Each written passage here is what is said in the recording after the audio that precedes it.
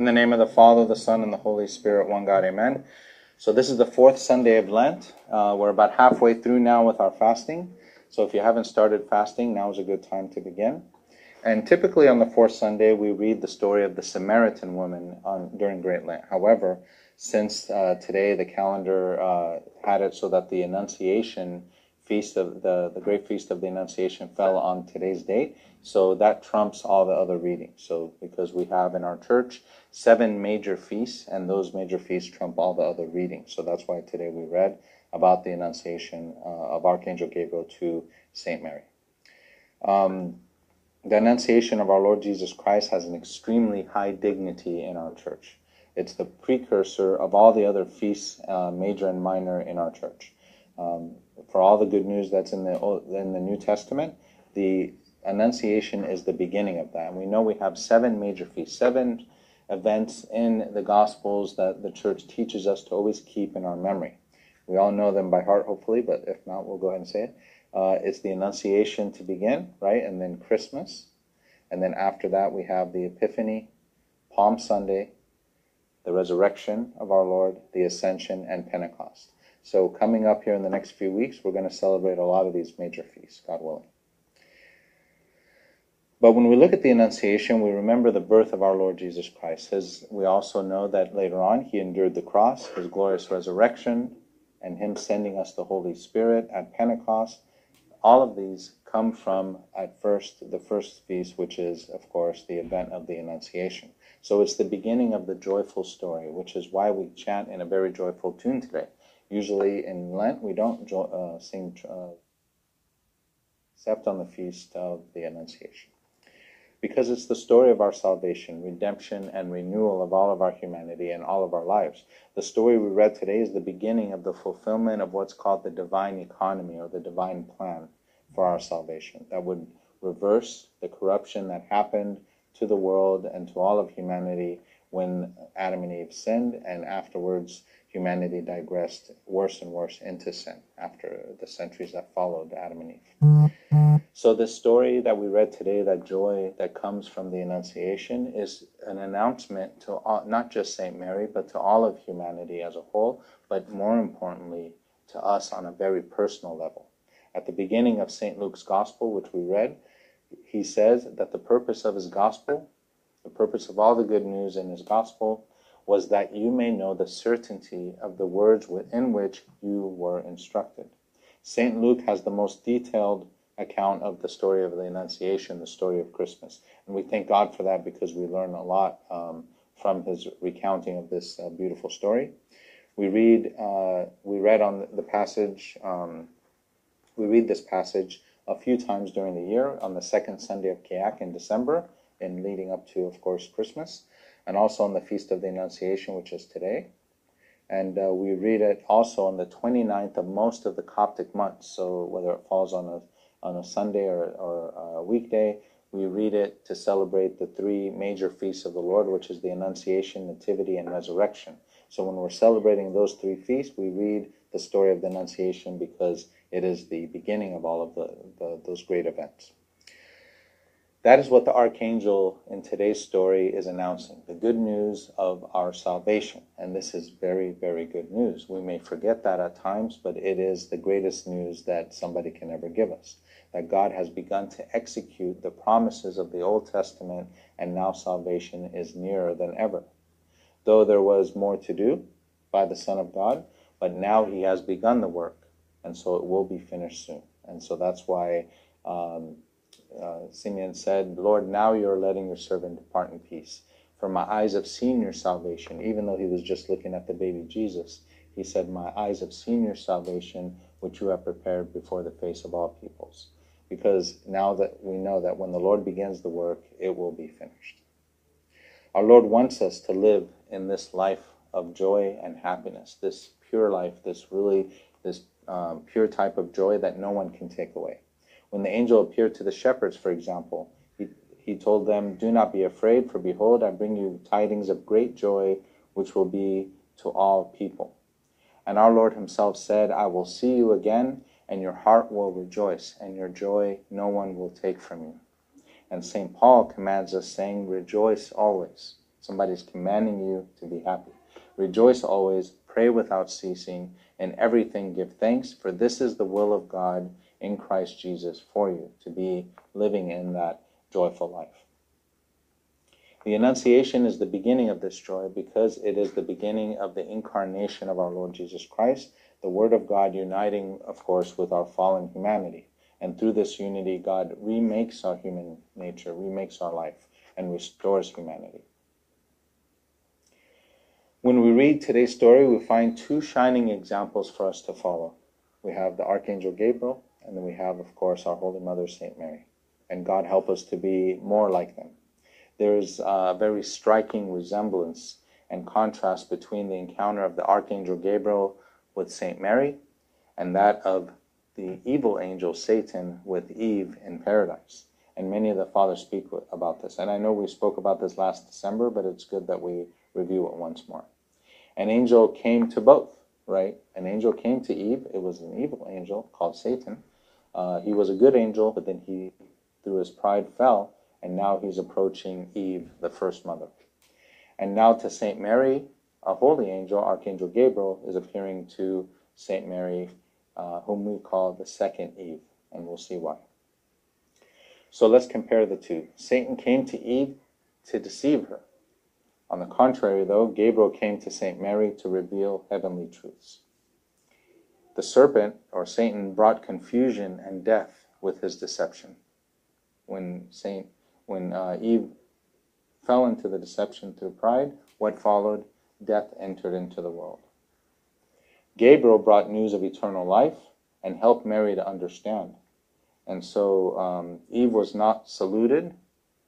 She was not greeted because, of course, Satan hates humanity. Uh, he didn't greet her with honor um, because, uh, he, again, he hates humanity with a, a deep hatred.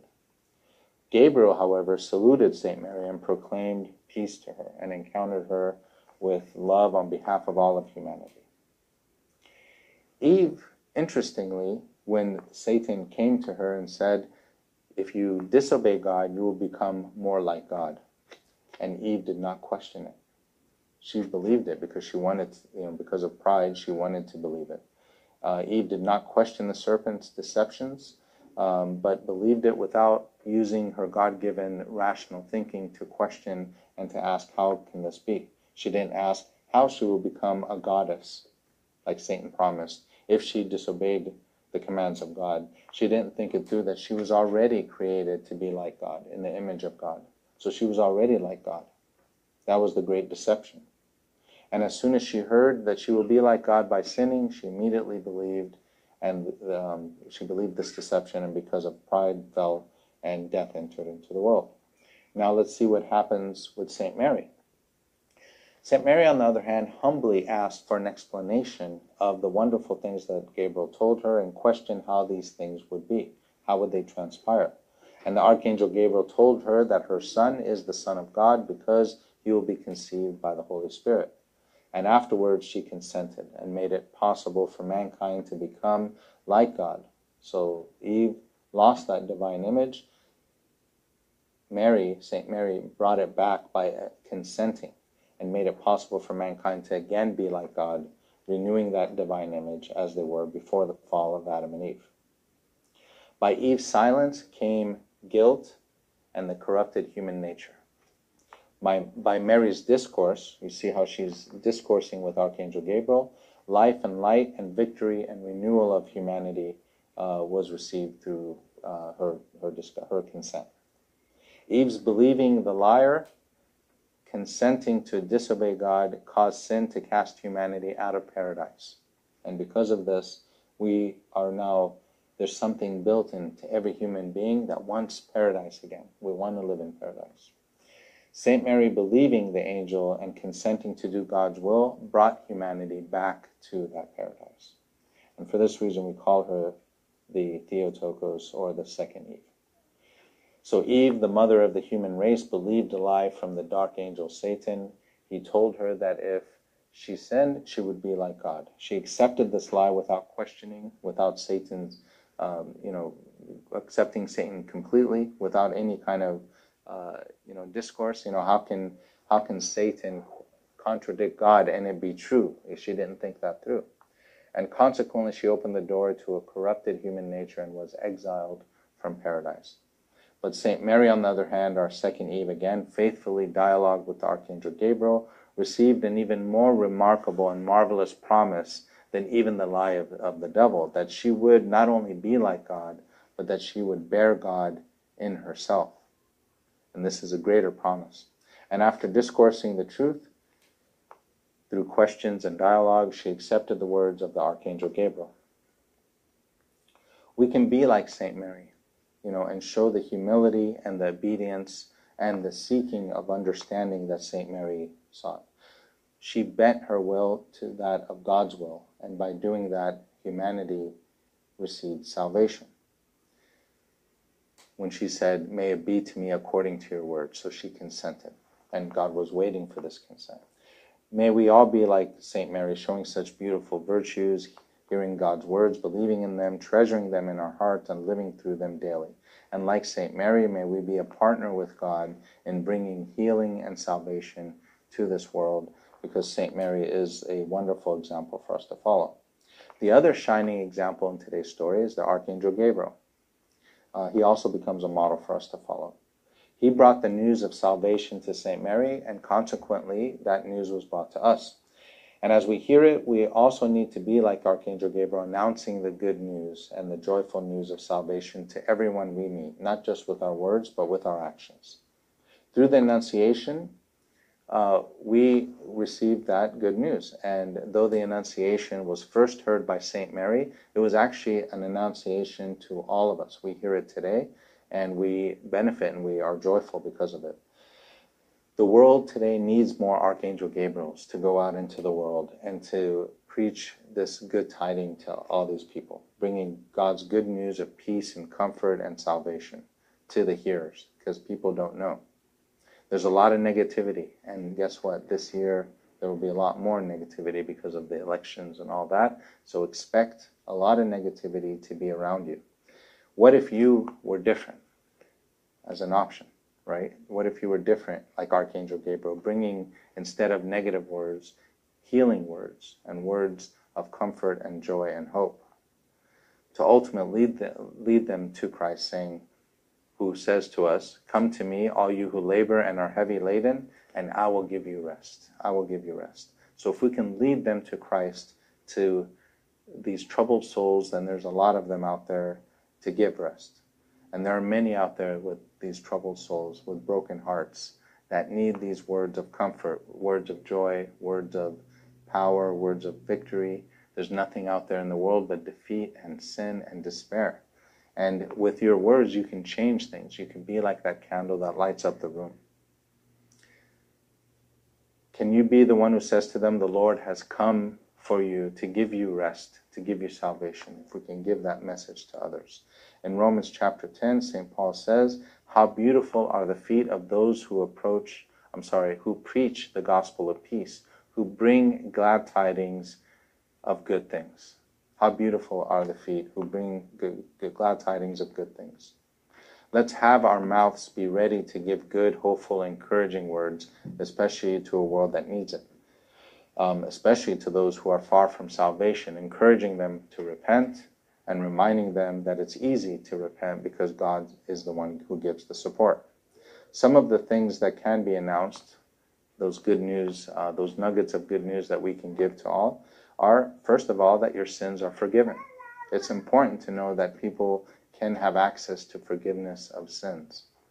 This is very good news. People are very aware of their sins, but they live in despair because of it, which causes them, of course, to sin even more and more. You can break that cycle in their life by saying that there is an option for forgiveness of sins, that Christ has come for that purpose. And the many examples of Christ forgiving sins in the Gospels, there's so many examples.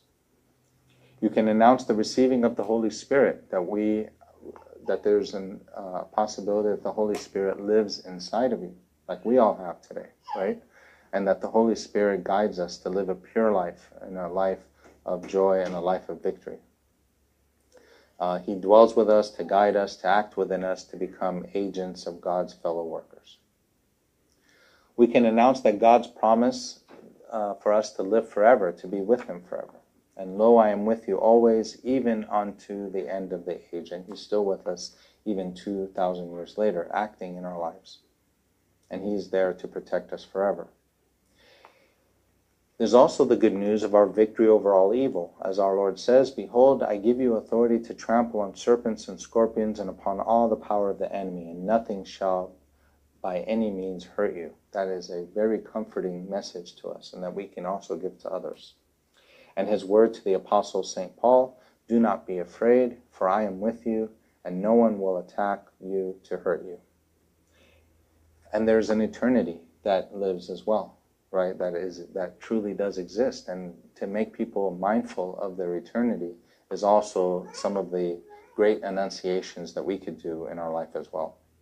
So may God always help us to make this world uh, a little bit brighter, right? And help us to be agents of good, agents of hope, agents of uh, the dispelling of the despair that's in the world through the amazing messages that our Lord Jesus Christ gives us. And may He grant us to be more like St. Mary and Archangel Gabriel, accepting this message for our, in our own lives, first of all, and then becoming agents of hope and joy, proclaiming His message of salvation for His glory forever. Amen.